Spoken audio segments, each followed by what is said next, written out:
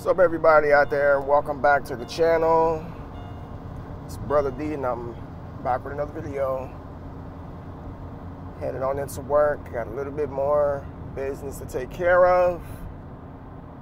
And in this video, I want to say that if you don't have haters, you're probably not doing something right. Now, how many times have you heard that in your life? How many times have you heard people say, you know, if somebody's not hating on you, then you probably are not grinding hard enough. Your success probably is not showing enough. It happens. I know for me, throughout my life, you know, what, you know, whatever I do, you know, I've had people say things about me that I don't even know. You know, I don't even know these people, but they have their own um, opinion about who I am as a person and just for whatever reason not take a liking to me. And it is what it is. Uh, no matter how nice you are, no matter what you do for people, how positive you remain, there's always going to be something that people find wrong with you. There's always going to be something that someone, you know, tries to nitpick. There's always going to be something that someone has to say about you. It just it's just is the way the world is and I'm here to tell you that it's okay and that you should not let that bother you. I've made YouTube videos that I felt like were inspiring and motivating and somebody would dislike the video. You know, for whatever reason. Maybe they're having a crappy day. Maybe it's something I said they don't like. I don't know. It's just people do that all the time. But I know people out there who get very upset about stuff like that. Like, why did you down? Why did you down the video? Why did you thumbs down the video? Well, the options are there to like or dislike. And that's just what it is. Some people get bothered by it, others don't um, it doesn't really bother me too much, but it does kind of make me like wonder, like, okay, so nine times out of ten, probably nine and a half times out of ten, most people who thumbs down on the video probably are not going to comment. Some of them might. It just depends.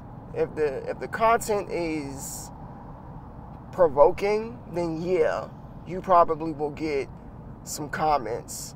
But if the con- if the if the content is not provoking and it's you literally cannot find anything wrong with it and someone downs it, they're probably not going to comment and give you an explanation because maybe if, if anything it'll be some some positive feedback, you know, in the sense of a, a thumbs down uh, to help an individual with their content creation, whatever the, or whatever the case may be.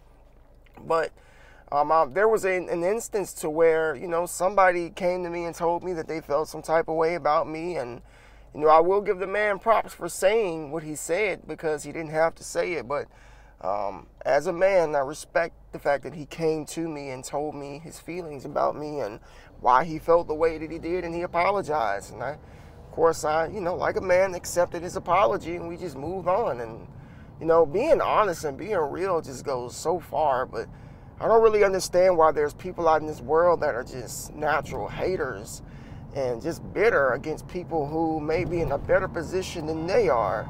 You know, instead of being bitter, why not get better? Instead of hating, why not work harder? Instead of, you know, assuming, why not ask questions? You know, all of these things you could be doing except for just hating on people all day long.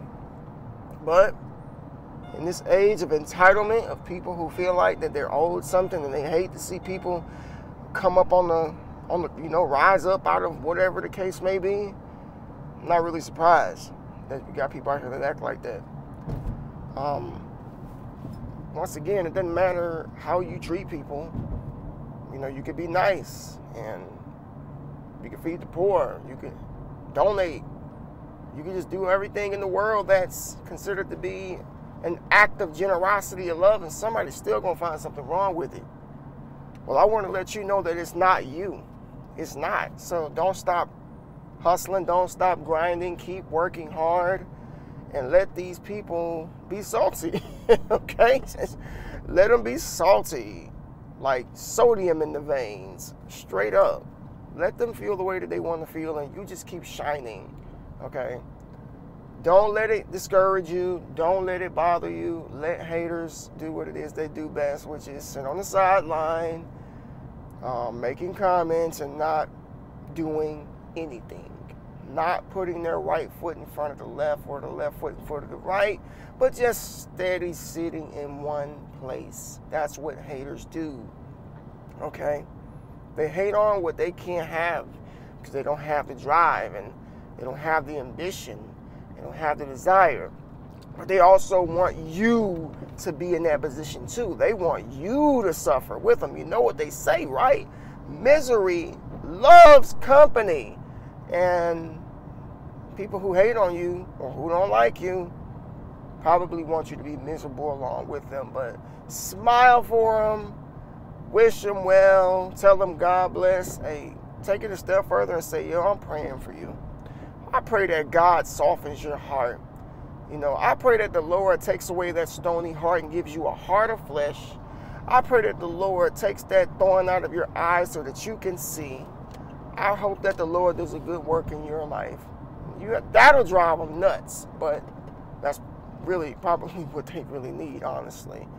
All right, everybody. God bless you all. This is a short video. I just wanted to drop this on you all. Hopefully, um, it encouraged you and not discourage you because we're here to motivate and inspire, of course, through Christ Jesus. Thank you so much for watching, and I'll see you all next time. Peace.